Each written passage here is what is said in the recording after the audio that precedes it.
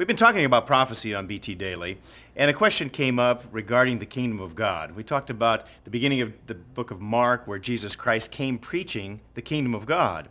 And a question came up regarding John 18:36, where uh, Christ said, "My kingdom is not of this world. If my kingdom were of this world, my servants would fight." He made that comment to Pilate just before the crucifixion.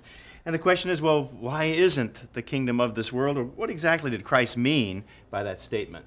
Well, you know, Steve, people can be confused by that because we know that God sits on a throne, that God isn't somehow not over his kingdom. So God sits on a throne, Jesus Christ sits at his right hand. There is a kingdom. The whole universe is the kingdom of God.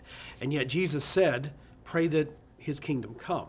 But what we have to realize is when Paul says that uh, Satan is the God of this world, we live in an occupied part of God's kingdom. God has allowed Satan to occupy the earth for a period of time to rule over mankind, but he is going to send Jesus Christ back, and God's kingdom is going to be reestablished right here on this earth. So ultimately, when Christ returns, the kingdom of God is established on earth. Right. And so he is the king of that kingdom, and yet he's still to come.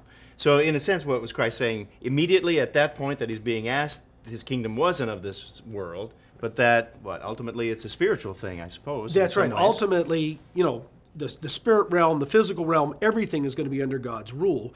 And Satan didn't take the earth and humanity away from God because he was more powerful. God allowed him to do this for a period of time, which means that you and I can turn to God right now and we can submit to God's kingdom in our lives right now. So it's a future event when Christ comes back. But for those who submit to God, God's rule, God's kingdom can be in our lives right now.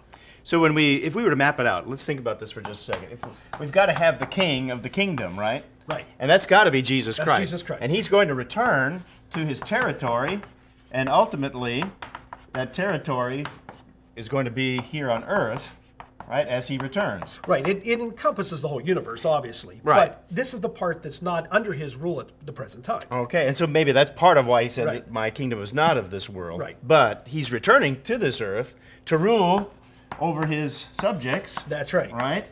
All humanity. And that's got to be a part of the plan. So there's going to be a king over his territory, but how are those subjects going to be ruled? Now we get down to God's instructions, God's laws. Right. And so just like society, any organized society today is governed by laws, so will the kingdom of God. That's right. Both in the physical realm and in the spiritual realm. And so we can look forward to the fact that Christ is going to return and establish that kingdom right here on earth. And so he's looking forward to, to doing that with, with his subjects in his territory under his law. That's BT Daily. We'll see you next time.